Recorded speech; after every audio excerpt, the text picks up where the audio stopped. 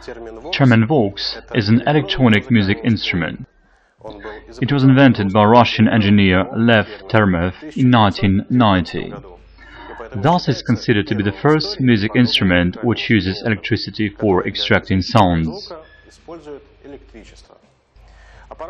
The device is an acoustic generator. It consists of two high-frequency electromagnetic oscillators. On the outside it looks like a box with two antennae. By moving the hand over electromagnetic field near one of the antennae, a musician changes capacity of the inside oscillating circuit.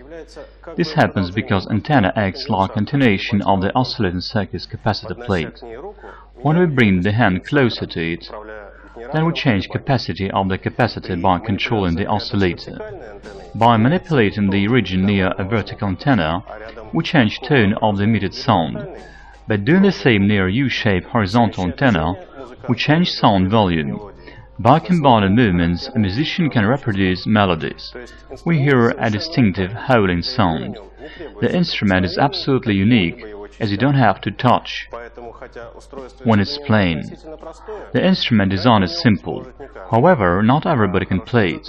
A musician must have an excellent ear for music and be able to produce very delicate motions. In musical aspect, the instrument has certain limitations. It is suitable for plangent, ariose melodies.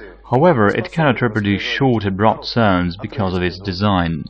Of course, playing Vox is not as popular today as playing modern electronic instruments like synthesizer or drum machine. However, many musicians still use this unusual instrument so that we can listen to the amazing voice of Termen.